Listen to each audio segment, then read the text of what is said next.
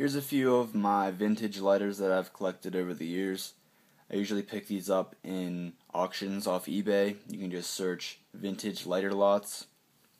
Every once in a while you'll get a pretty good one in the bunch, so um, it takes a while, but these are the few that I've collected over the years.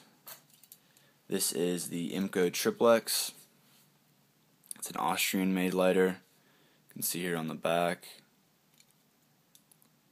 Imco Triplex, Vienna, Austria, six Super Six Seven Hundred.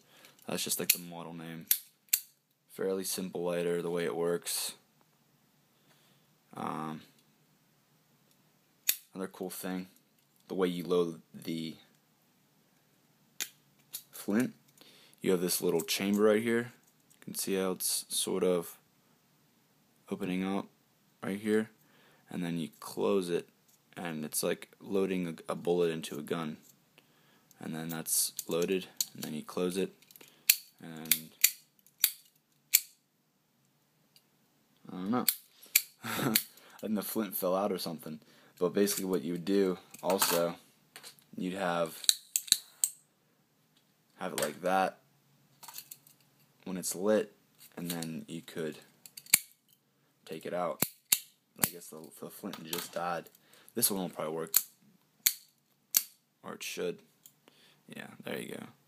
So you have that, and then you would pull this out, and you have a little candle that you can use to free up your hands. So if you need to do a difficult task and you need a flame, then you can do that. So it gives you a lot of options. That's one of the cool things I like about these lighters. Also, another similar one to this is the Imco Streamline. This was, I think, a later version of the Imco Triplex. Um, same design on the back here, just a little more polished, and it's just different shaped. You can see the other one's a lot bulkier, and it's got these three star, these uh, five stars here that kind of give it that look. And then this one's the same. This is an older version. Um, sort of like a trench lighter. I'm sort of it's sort of deceiving how old it looks. I'm not sure. There's really no information. Every time I try and read this, like I start reading it and then I'm like, wait, it's upside down. So I flip it upside down and I'm like, wait, I was right. So I don't know if it's in a different language or if it's just so tarnished and and used that you can't even read what's going on on it. But that's basically how that would work you just go like this and spark. But the spark isn't working very well. Next is similar design almost the exact same design. Same exact barrel here different on the on the back. This is a Colibri Firebird which I believe was eventually bought by Colibri. So I'm not sure if this was before they merged or if this was after, I'm not sure.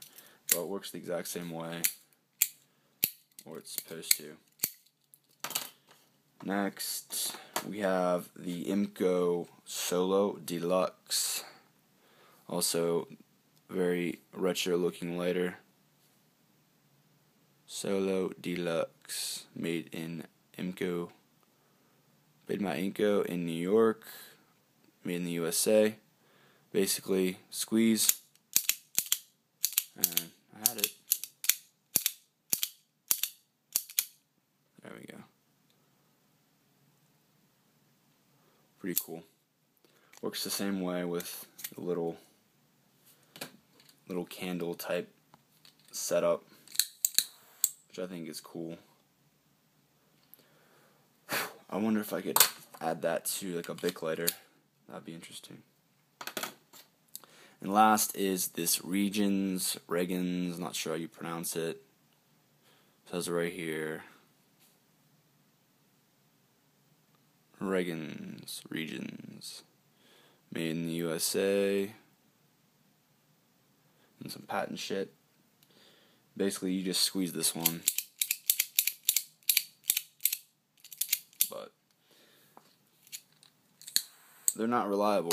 They just never I guess were very reliable. It's probably why the butane pretty much killed these versions. People still use the Zippos, but yeah, it's just too much of an intricate effect that you have to like really squeeze it, hold it, you know. But also interesting to see how everything sort of progressed. I wish I could could set these up chronologically, but there's really not very much information on these, and I haven't even looked to tell you the truth. I just like the fact that they look different.